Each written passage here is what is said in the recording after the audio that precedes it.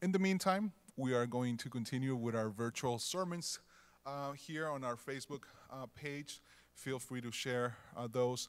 You can connect with us through Facebook, through Instagram, and we also have an email. And if you want to sign up, there's uh, that church directory where you can get the email notifications as well.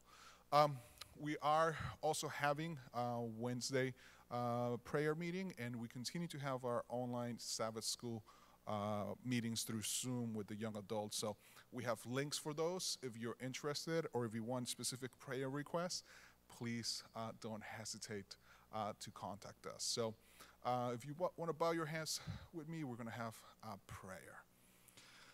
Dear Heavenly Father, thank you so much for the blessings that you've given us. Thank you for uh, giving us that wonderful promise that you're going to be coming back a second time and that you're preparing a home for us in heaven. And that in the meantime, you've sent your Holy Spirit to be with us, regardless of the positive times, the troubling times. Your Holy Spirit is always with us. I pray that the Holy Spirit could be with those who are going through specifically difficult times, loss of employment, uh, loss of housing, uh, and just all the anxiety and uncomfortableness with the, what's going on in the world. But we know that you're coming back again, and we look forward to that second coming so that we can be in heaven when there will be no more suffering and no more pain. Uh, we thank you for the love that you have for us and for dying in the cross for everyone. In the name of Jesus Christ, we pray.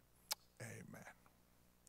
So, today's scripture reading will be from Genesis chapter 12, verses 1 through 3.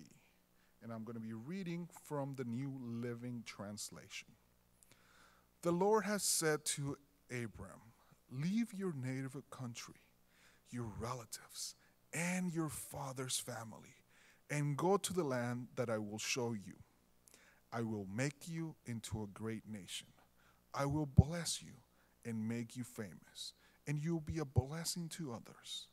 I will bless those who bless you and curse those who treat you with contempt. All the families on the earth will be blessed through you. Amen.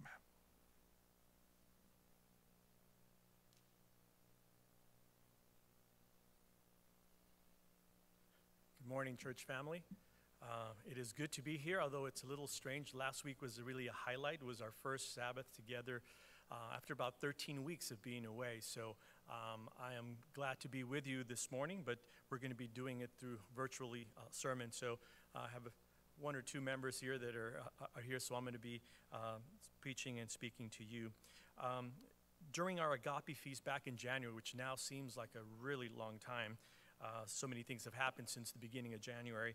Um, uh, I had mentioned uh, when we were having our agape feast about, um, touched on the fact that God is a covenantal God, um, that He is all about relationships, and He has righteous integrity in everything that He does. He is faithful. He is a God who makes and keeps promises. And um, this morning, I want to talk to you about the promises God made, specifically through Abraham. And it is called the everlasting covenant. And so we're going to talk a little bit about that. So before we do, let's have a word of prayer. Um, our Father in heaven, um, we gather wherever we are now uh, in different locations, uh, different times that we are will be seeing this. But Father, uh, we know that you are with us uh, no matter where we are, and we just want to praise your holy name. And as we gather this morning to worship you and to just um, listen to your word, um, we invite your Holy Spirit to be with us, to be in our hearts. Um, we thank you, Lord, that we are called your sons and daughters. And we pray for that restoration um, that you have promised. Uh, we ask for reformation of our hearts um, and transformation of our minds. Um, and so, Lord, I just pray that you would be with me, give me the words to speak, not my words, but yours. And we ask it in the precious name of Jesus. Amen. A few nights ago, um, I was uh, awakened. I was sound asleep, but I was awakened in the middle of the night uh, this week uh, by the sound of crying.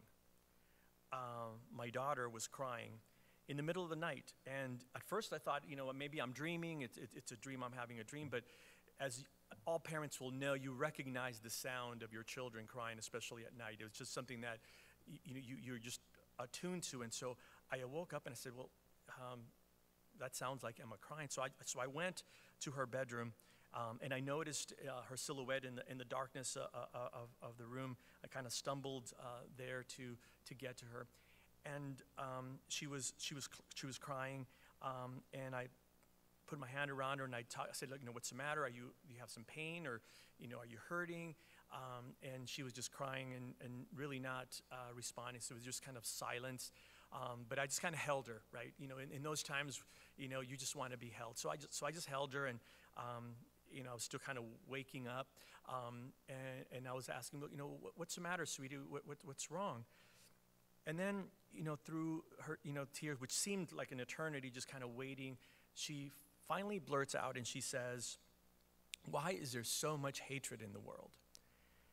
And you know, I, and so you know, I was kind of again half asleep, but but hearing those words, why is there so much hurting? Why is there so much hatred in the world?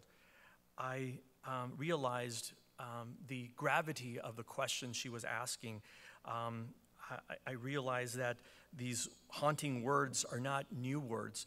Uh, these are words that have echoed throughout history of uh, mankind. Why is there so much hurting? Why is there so much pain? Um, these, these words have existed um, and have echoed through, throughout history. Uh, so it was nothing new that she was saying. Um, but for her, it was something very palpable that she was feeling that evening. And, um, you know, I don't care whether you're an atheist or agnostic or whoever, when you see injustice, when you see things happening, you know that things are wrong, that they're not right.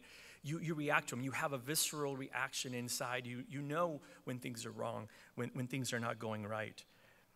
And as she had exclaimed this, I, um, I, I kind of just, you know, held her um, and I couldn't pretend like what she was saying was not happening or not meaningful in any way, um, because it was. Um, I could not dispute the facts that my 15 year old daughter was exclaiming as she you know, really realized the um, profundity and hopelessness of a world around her where people act and do terrible things.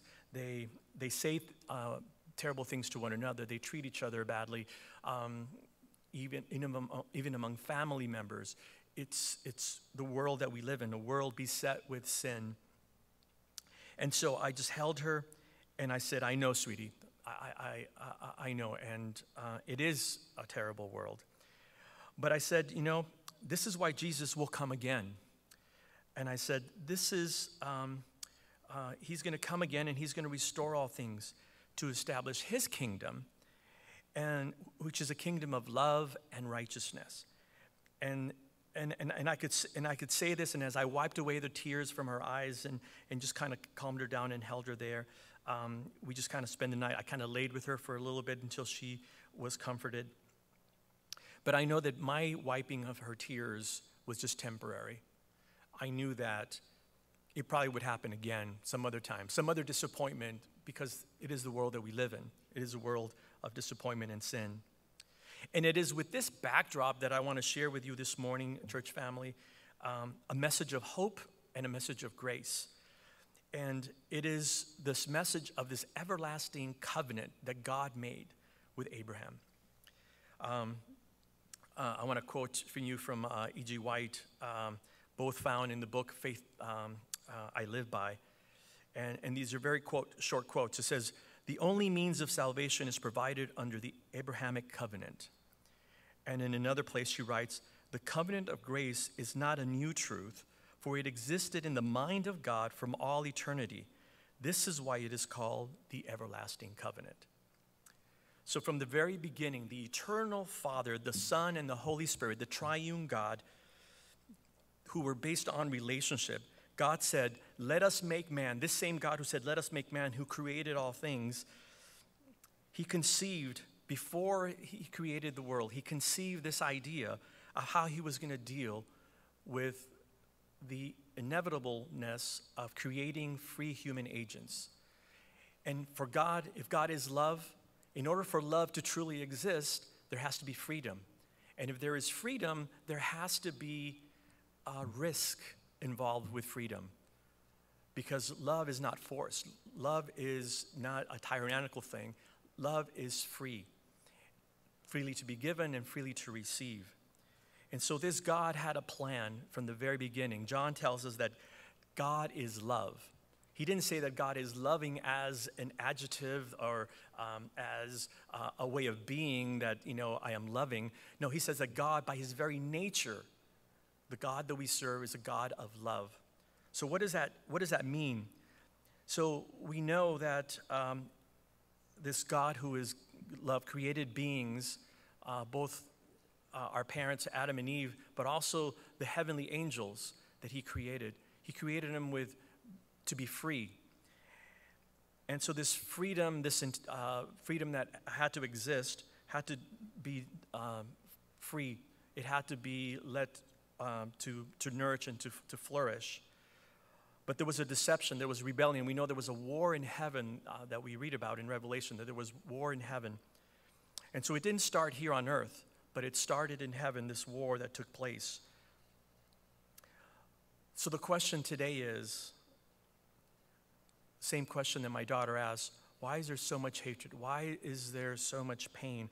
Why is there so much suffering in the world if there is a God of, who is love?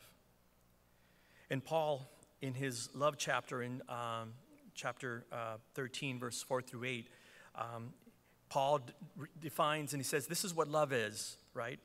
And he says, Love is patient, you know, love is kind. But what, what, is, what is it if we were to take the word love and just exchange the word God for it and read the verse that way? So I'll do that for you right now. God is patient. God is kind. God does not envy. God does not boast. God is not proud. God does not dishonor, dishonor others. God is not self seeking. God is not easily angered. God keeps no records of wrongs. God always protects. God always trusts. God always hopes. God always perseveres. And God never fails.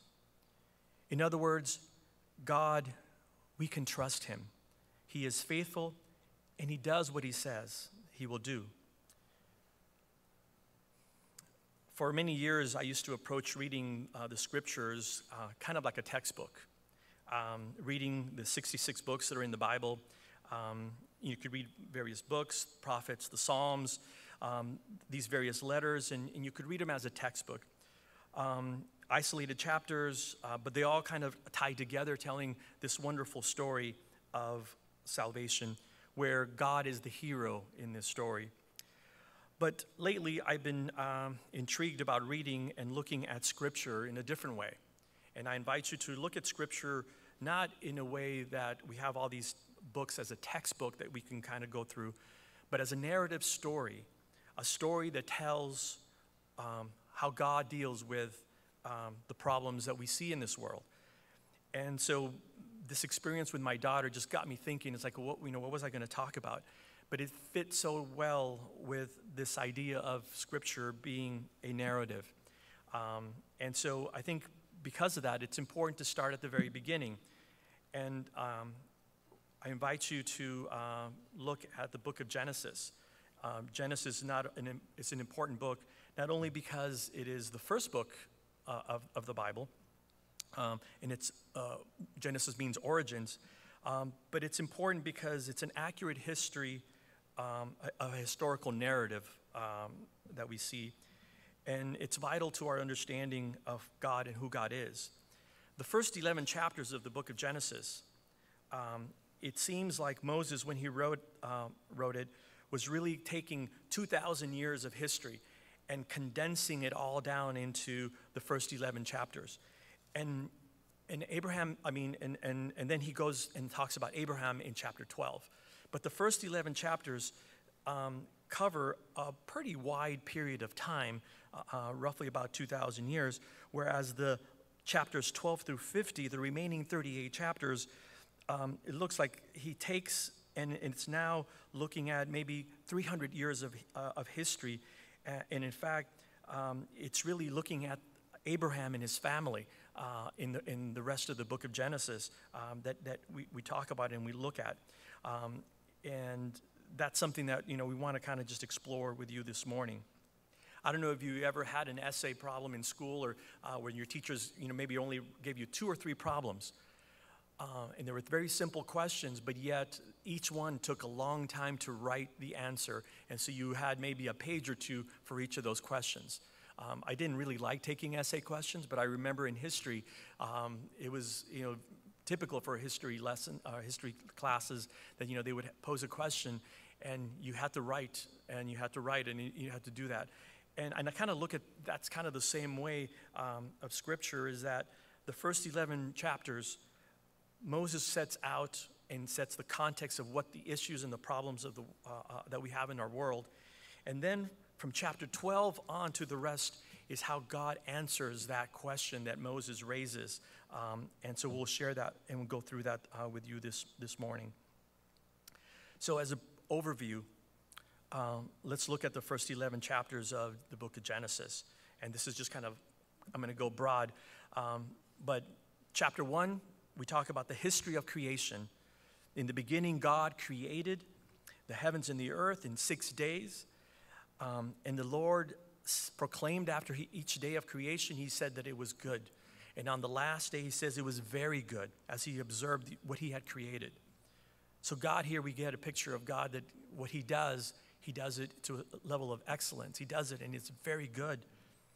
In chapter 2, it talks about life in God's garden and God instructs Adam and Eve, and He says, Out, of all the trees in the garden, you may eat, except for one. So we see here a picture of God, of a God of abundance, a God of generosity. And, and, and so, so we see that um, uh, in, in chapter 2. In chapter 3, it talks about the fall of man. Man falls into sin, he disobeys, um, he is separated from God. He loses his connection. He feels like he is naked. He runs from God. He hides uh, to, and he covers um, his nakedness and his shame. Um, and this is just emblematic of what's taken place, which is this vertical separation that has happened now between God and man. This alienation that takes place, this vertical separation that took place. Uh, we see that right there in the garden. But God makes a promise in the garden. In Genesis 3, verse 15, he says, and I will put enmity between you and the woman, and between your offspring and hers, and I will crush your head, and you will strike his heels.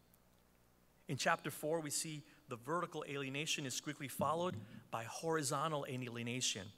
We, hear, that we see the story of Cain and how he murdered Abel.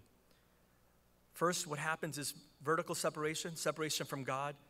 Then, immediately, what follows is this horizontal separation amongst one another and you have um, hatred, alienation, this, this relationship has been broken vertically and now horizontally as well. Chapter 5, the family of Adam, the genealogy, and the length of time that man lived on the earth. And in chapter 6, we see the wickedness of men. In chapter 6, verse 5 through 6 says, The Lord saw how great the wickedness of human race had become on the earth, and the very the uh, and that every inclination of the thoughts of the human heart was only evil at the time. And the Lord regretted that he had made human beings on the earth, and his heart was deeply troubled. Chapter 7 is the flood. The earth and its inhabitants were destroyed, and only Noah and his family uh, were saved. Chapter 8 talks about Noah's deliverance and God's care for him. Chapter 9 talks about God making a covenant with Noah and creation um, and restarting all over again. And if you look at it closely, there's a close parallel between Noah and the world after the flood and the creation story. It almost repeats. It's like creation 2.0. God starts all over again. Chapter 10, Noah's descendants. Chapter 11, we get to the Tower of Babel.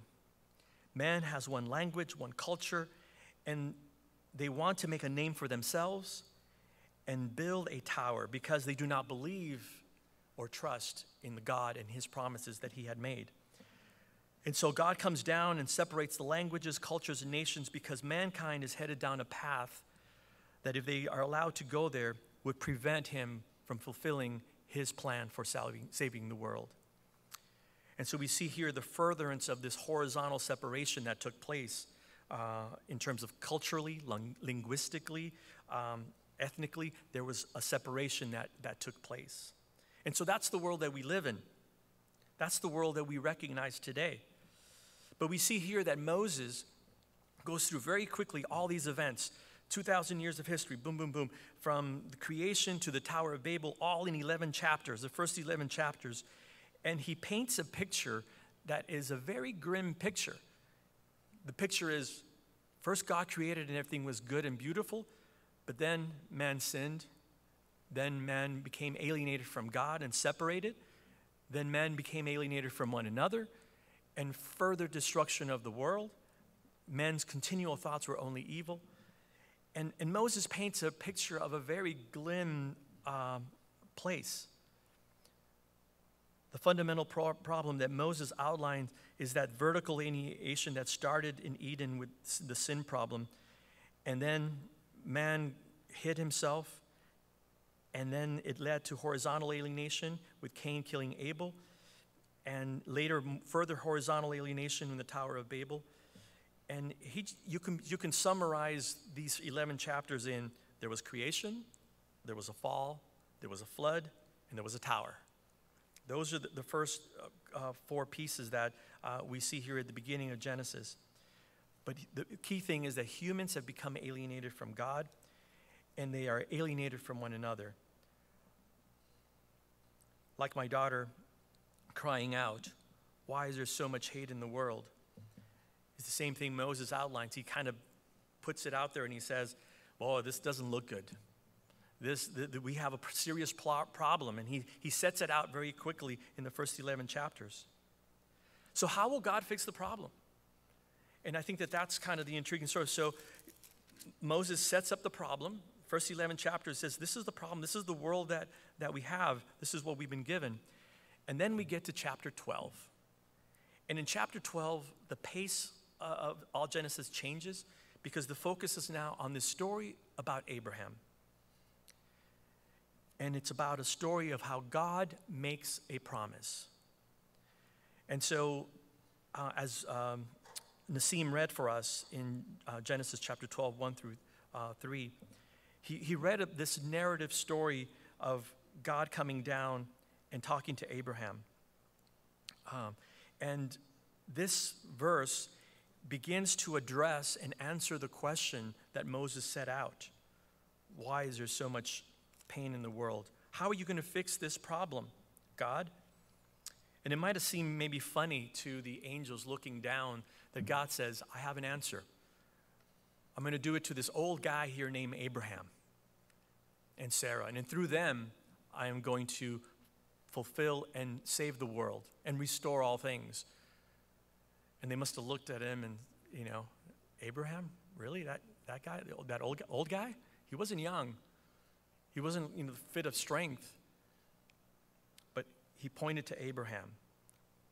As Abraham, through him, was how God was going to fulfill and answer the question that is set forth by, by Moses. And the question that we, uh, of alienation, at the root of it is the question is is God really who he claims to be? Is God really love? Can we trust God? Is it good news that there is a God?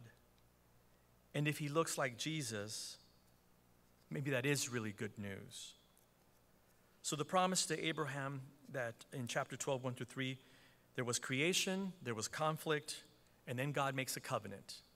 And that's what we're going to talk about this moment that God another word for covenant is just a promise. God makes a promise. So uh, I'm going to read it through. Uh, this is from uh, the New King James Version, Genesis chapter 12, 1 through 3. It says, Now the Lord had said to Abraham, Get out of your country, from your family, and from your father's house, to a land that I will show you. I will make you a great nation. I will bless you and make your name great, and you shall be a blessing. And I will bless those who bless you, and I will curse him who curses you. And in you all the families of the earth shall be blessed. So, how is it that this promise, this, this covenant that God makes with Abraham, is the answer to these previous 11 chapters that are uh, in Genesis? Notice the following things the proclamation to restore the, um, the answer to the sin problem starts with God making a promise to Abraham. And that we have the following words he says, Get out or come out of your country, Abraham. Separate yourself from your country and your, your familial gods, your family, and leave this place. Leave the place that you find yourself in. Start over. To me, when I first read it, this call sounds very familiar to Revelation chapter 18, verse 4, where he says, And I heard a voice uh, from heaven saying, Come out of her, my people, lest ye share in her sins, unless ye receive of her plagues. The call to come out of Babylon, to come out of confusion, to come out to know the true God, is an invitation to fellowship. It's an invitation to reconnect with God. And like God's call to Abraham, it is a call to a better place, a better way of life. It is a call that God always puts us in a place that is better than we ever were before because God's character is good. Notice that this covenant that God makes is very one sided. It's not like, Abraham, I'm going to do this, but you have to do this. It's God's covenant with Abraham is all one sided. It's a promise for a better land, a better place. He says, I will show you, I will make you, I will bless you, I will make your name great. And because God will do these things and enter in a relationship with you, you will be a blessing to others. God blessings are never meant to be held on tight just to, uh, for us. They're never meant to be uh, limited or parochial. Uh, God's blessings um, are not of exclusivity uh, for any group, not even, you know, uh, Abraham here. It wasn't just for the Jews, it was for everyone. God's promises of blessings are not to be selfishly clinged to. God's blessings are always meant to be shared because we serve a God who is love. Love for all, not only um, all mankind, but also all of creation as well. Once that vertical relationship is established and we engage with God, He promises to bless those uh, around us who bless us and to curse those who curse us. The promise of God is to restore our relationship with one another. And the promise of God is to, as He restores these relationships, is to break away these social isolation that, uh, that we have with society or looking at others as different groups, different than us. His promise is to restore us to be one through Jesus Christ, to be one through, through Him. And finally, the climax of the promise is that He says that all the families of the earth shall be blessed through Abraham's seed. Not only men, not just one group, but all the families of the earth. I love that God goes back to restore the broken world and rightfully connects and reminds us that we are all sons and daughters of God, that we are all one family. We are all part of God's family. Whether we're black, yellow, red, white, it doesn't matter. For God, we are His creation. We are all His sons and daughters. Our differences are done away with in Jesus and in that promise that he made to Abraham. So God's answer was to say, through this old guy, through this guy named Abram, through this couple, I will send my son. Through the story of Abraham, I will demonstrate to the world and to the unfallen worlds and to all the universe, I will demonstrate my love for them. It is um, said in uh, Isaiah 44, it said that uh, um, Abraham was God's friend. He says, But you, Israel, are my servant, Jacob, whom I have chosen, the descendants of Abraham, my friend. Jesus in the New Testament exclaiming, um, talking about love. He mentions in John 15, 13, says, Great love has no one than this, than to lay down one's life for his friend. And Abraham was God's friend. In the story of Abraham, we see God's everlasting covenant being demonstrated. There was no angel there to hold back the hand of God when he provided the sacrifice. Abraham, by faith, said, God will provide. And in that thicket, that ram that was stuck there, in that thicket representing Jesus, God provided that sacrifice. Jesus Christ came to die for each one of us, for the whole world, not just for one group. He died for the whole world. And that's the good news of the, mess, of the gospel is that we are saved by grace by believing in the sacrifice that God provided for us. That is good news. It is good news that's worth telling and sharing with others. In Genesis 17 7, it says, And I will establish my covenant between me and thee, and thy seed after thee, in their generations, for an everlasting covenant to be a God unto thee, and to thy seed after thee. The same covenant was answered to Abraham in the promise, In thy seed shall all the nations of the earth be blessed. That promise pointed to Jesus. And the Lord appeared to Abraham and he said, I am the Almighty God. Walk before me and be perfect. The testimony of God concerning his faithful servant was Abraham obeyed my voice and kept my, kept my charge and my commandments and my statutes and my laws. This Abrahamic covenant was ratified by the blood of Christ, and it is called the second or the new covenant because the blood of which was sealed was shed after that first covenant was made. There is hope for us today because of that promise that God made to Abraham about that seed, about Jesus coming. That, in essence, is the hope that we have today for what Jesus has done. That God kept his promise and didn't hold back his son, but gave him freely. The gospel that was preached to Abraham, through which we have hope, It's the same gospel that is preached today. And Abraham looked unto Jesus, who was the author and finisher of his faith. Jesus showed us the broad plan of salvation was for the whole world, not just for the physical descendants of Abraham, but for all who would believe like Abraham did. That's why Abraham is called the father of all believers. Jesus mentioned that when we are in heaven, that many will come to seek Abraham out. Matthew 8 11 says, And I say unto you that Many shall come from the east and the west, and shall sit down with Abraham and Isaac and Jacob in the kingdom of heaven. When the command was given to Abraham to offer his son, all heavenly beings with intense earnestness watched each step in the fulfillment of this command. Light was shed upon the mystery of redemption, and even the angels understood more clearly the wonderful provisions that God had made for man's salvation. This is uh, from page 97 of From Eternity Past. I am sure it's not just my 15 year old uh, that sorrows for the condition of the world today. I'm sure that there are enough tears that have been shed to fill an ocean. Adam and Eve cried when they saw the first uh, flowers, petals fall from uh, a flower, the results of sin. I'm sure that they wept and they witnessed death and decay from this physical world, but also they also witnessed the moral decay within. We know that the Father is not willing that any should perish, but He says that He's willing that all should come to repentance. How about us? Are we saddened to tears by the chaos and the turmoil that we see and the pain and grief uh, that we see in this world, for the injustices and the wickedness that is around us?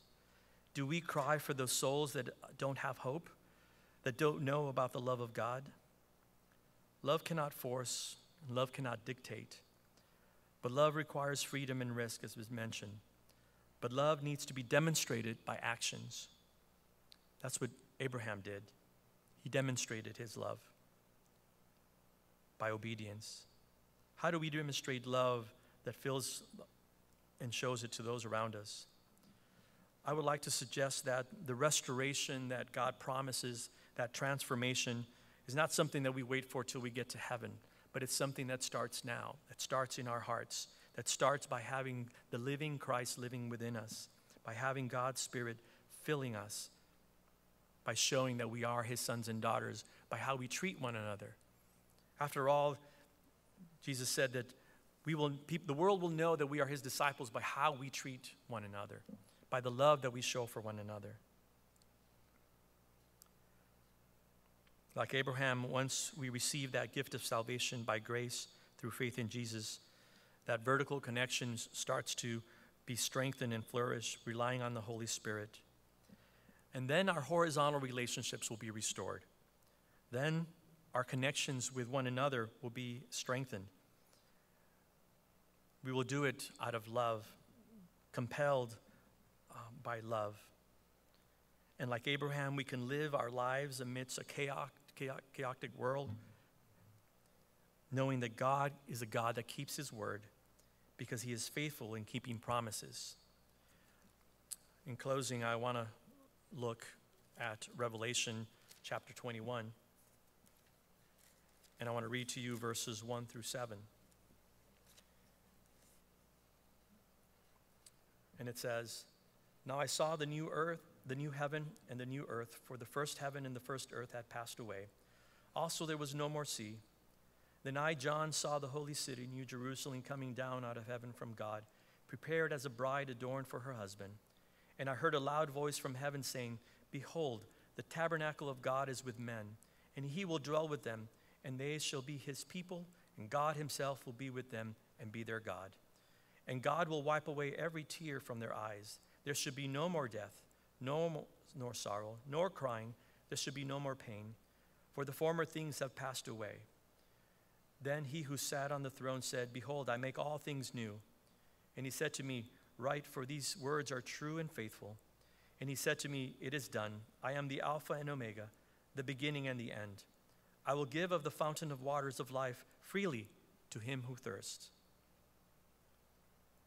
He who overcomes shall inherit all things, and I will be his God, and he shall be my son.